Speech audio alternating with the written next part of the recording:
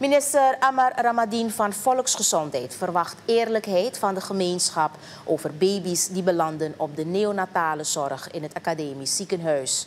Hij legt uit dat het normaal en verwachtbaar is dat een kind tussen 0 en 1 maand het niet overleeft als het terechtkomt in een ernstige gezondheidscrisis.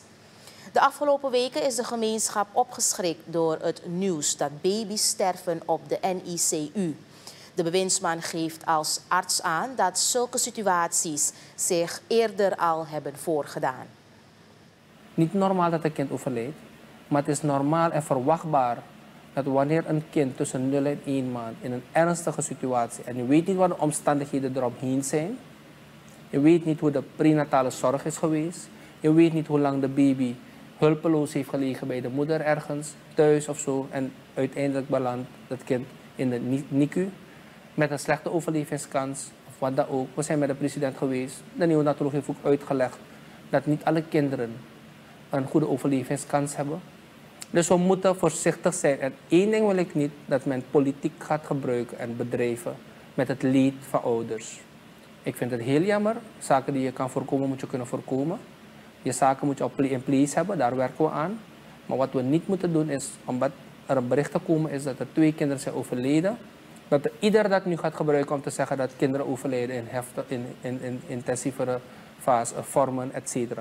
We moeten ook beseffen, en ik heb het ook zelf meegemaakt, toch? Als je als arts situaties ziet, dan ga je dat niet buiten hangen van daar is die zorg niet goed en dat is niet goed. We moeten eerlijk zijn en wel toegeven dat eerder ook kinderen zijn overleden en dat wij moeten voorkomen dat dit zich gaat herhalen. De bewindsman zegt dat vanuit het ministerie geprobeerd wordt om alles in place te hebben om die zorg te kunnen aanbieden. Hij geeft aan dat de herwaardering van de zorgwerkers prioriteit heeft.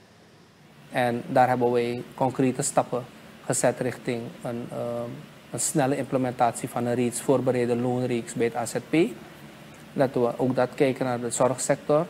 Hoe wij uh, à la model van AZP, die een compleet uitgewerkte loonhuis heeft, uh, en naar tevredenheid is van het personeel, dat wij dat gaan proberen te implementeren.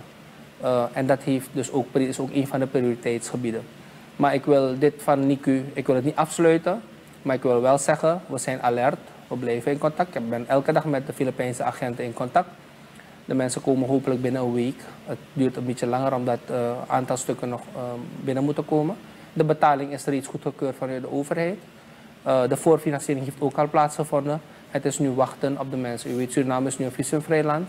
Dus de mensen hoeven geen visum aan te vragen. Het is eigenlijk gewoon binnenkomen en gelijk starten en met de werkzaamheden.